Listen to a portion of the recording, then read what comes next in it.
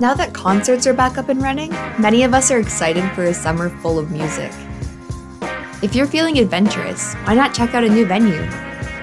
Here are five of the most unique music venues worldwide to give you a few ideas. Number 1 Sydney Opera House. Maybe it seems like an obvious choice, but there's a reason the Sydney Opera House has become so iconic. In January 1957, architect Jorn Utzon entered an international competition to design a national opera house for Sydney's Bennelong Point. Utzon won that competition despite being a relative unknown in the architectural community. Pressure began to pile on the then 38 year old architect as the building was like nothing that had ever been seen before and put him in demand in a way he was not accustomed to. Eventually, this led to Utzon fleeing the country midway through construction, never to see the completed building.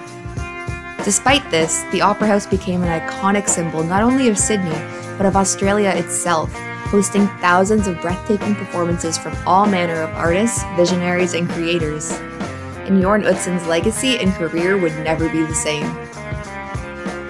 Number 2. Red Rocks Amphitheater. The Red Rocks Amphitheater in Colorado is an open air amphitheater that has been built into the surrounding rock structure. Their website cites that there is no better place to see the stars, which holds a double meaning, as not only has the venue hosted some of the biggest names in entertainment, it also provides a clear and stunning view of the sky above. It is between the Great Plains and the Rockies, which creates a unique environmental experience for concert goers. The theater's architect, Burnham Hoyt, set out to do a minimum of architecture, as he stated, in order to preserve the natural beauty of the site. The site also naturally had extraordinary acoustic properties ideal for performances, so Hoyt was careful not to damage the integrity. The theater hosted its first events, Puccini's Girl of the Golden West and Denver's Rush to the Rockies Centennial Celebration in 1959. Number 3. Wieliczka Salt Mine. This is one more venue that also serves as something of a natural wonder. The Wieliczka Salt Mine is a Polish historical monument and an UNESCO World Heritage Site. Commercial salt mining was discontinued in the site in 1996 due to falling salt prices and mine flooding, though salt products can now be purchased through their website. Visitors can tour the mine, visit the graduation tower for rest and relaxation, book company events, hold weddings or proms, or of course see a performance. Though the mines are not primarily a music venue, its various halls and even the graduation tower provide an incomparable ambiance for concerts. If you would like to catch a performance at the mines one day, keep an eye on their website for upcoming events. Number 4. Harbin Grand Theater. The Harbin Grand Theater in Harbin, China was designed to be a cultural center of the future.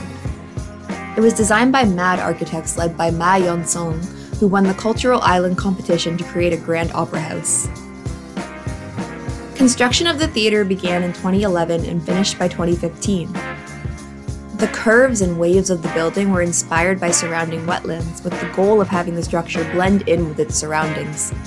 Yansong wished for the theater to contrast the towering skyscrapers of the nearby city. Harbin was named a music city by UNESCO in 2010, so having it house one of the world's grandest and most architecturally impressive opera houses could not be more fitting. Number 5. Slane Castle Seeing your favorite musician perform at a castle on the Irish countryside sounds like a dream come true. But if you head out to Slane, Ireland, you could just get the chance to make it a reality. Being that it is a castle, its history is vast and spanning as far back as 1701 or earlier. The castle in its existing form was constructed in 1785 under the direction of William Burton Conyngham and his nephew. Since then, tenants of Slane Castle have been varied to say the least. Not least known of which are the band U2, who took up residence in the castle to write and record their album The Unforgettable Fire in 1984. The grounds of the castle have been used to host concerts and festivals since 1981 and has seen the likes of many world renowned musicians. It is primarily a rock music venue, with one of its most well attended recent concerts being Metallica in 2019, where 75,000 fans were in attendance. Is the idea of finding your drawings in seconds music to your ears? We got you. Speak with a drawing specialist using the link in the description and get your customized drawing management strategy.